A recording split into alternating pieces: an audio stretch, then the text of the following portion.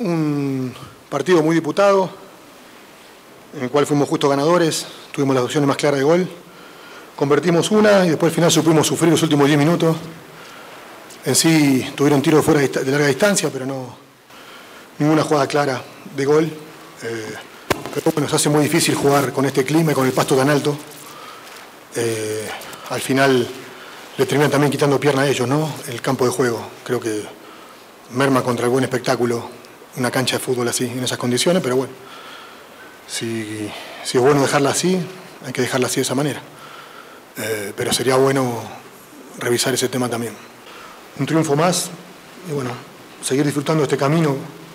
Ojalá que, el equipo se comporte así de sólido y de, y de serio, entender los momentos de los partidos cuando lleguen los partidos decisivos.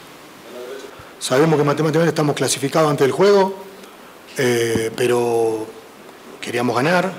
Era un buen momento para ir rotando los minutos de acá al final del torneo.